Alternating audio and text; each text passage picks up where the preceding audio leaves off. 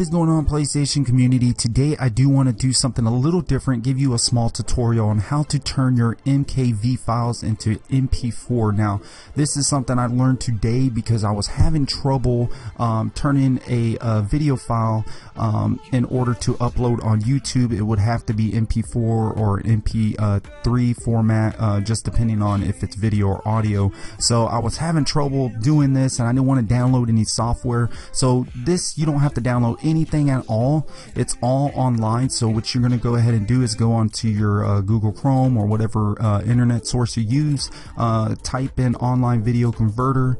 Uh, once you hit that, it will bring up the list. Click the first one on top. Once you click that, you are actually going to go stroll to the middle where it says convert a video or audio file and after you click that it will pop up a uh, select or drop file so when you click that it's going to bring up a menu and then you're going to stroll to where your video is and mine is in download so I'm actually going to stroll up to download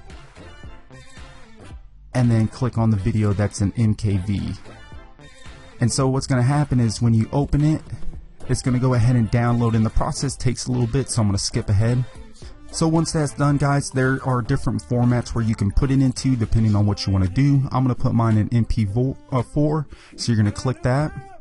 And then you're going to go ahead and start rendering it to that or converting it. And this takes um, not too long depending on your internet speed.